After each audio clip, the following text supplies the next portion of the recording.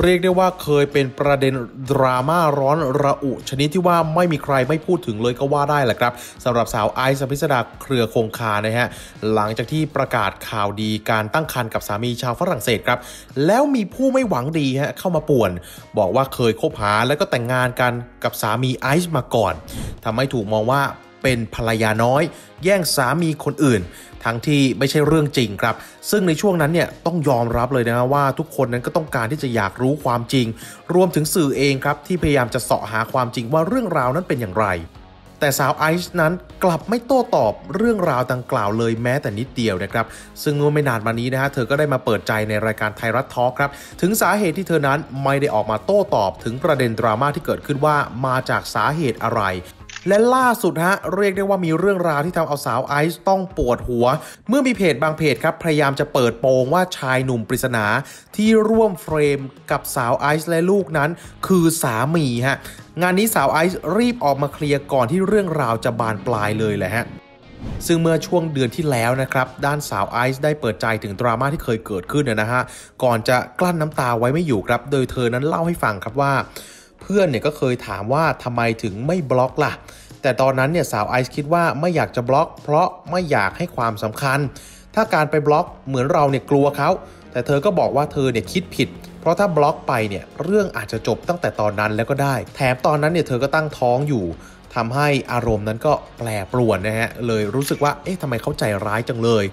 แต่เพราะการที่สาวไอซ์นั้นชอบปฏิบัติธรรมครับทำให้เธอนั้นรับมือกับดราม่าได้อย่างมีสติ ซึ่งในช่วงเวลานั้นครับเธอคิดถึงลูกว่าถ้ารับมือไม่ได้แล้วเด็กคนนี้เนี่ยจะเป็นอย่างไร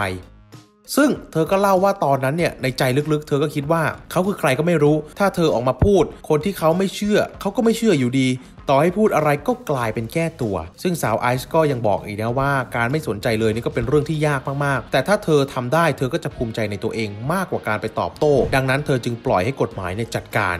แต่ถึงแม้เธอจะให้สัมภาษณ์มุมที่เธอคือคนท้อง เธอก็ยังบอกอีกนะว่า ถ้าเธอไม่ท้องเนี่ยอาจจะมีตายกันไปข้างหนึ่งเลยก็ว่าได้ แล้วก็ยืนยันนะว่า สามีของเธอนั้นไม่เคยมีหญิงอื่น หรือแต่งงานกับใคร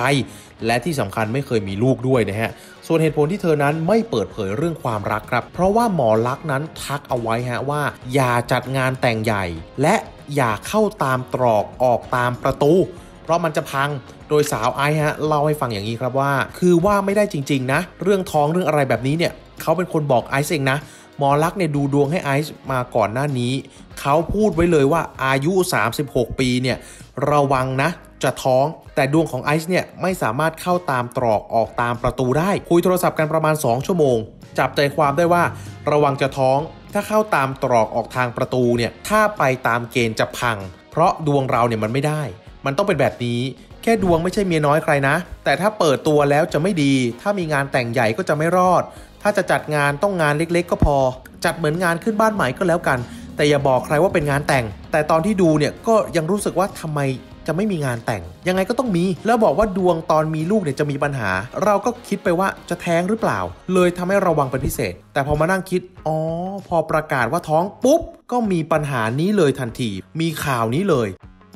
ล่าสุดฮะก็เหมือนจะมีเรื่องมาทำให้สาวไอซ์นั้นกุมขมับอีกครั้งคุณผู้ชมฮะเมื่อมีเพจดังเพจหนึ่งฮะพยายามจะโยงชายหนุ่มปริศนาว่าเป็นสามีของสาวไอซ์โดยในโลกโซเชียลบางเพจเนี่ยไปแชร์ภาพคุณแม่ลูกหนึ่งสวยแซ่บไอซ์อภิษฎากับน้องเลอา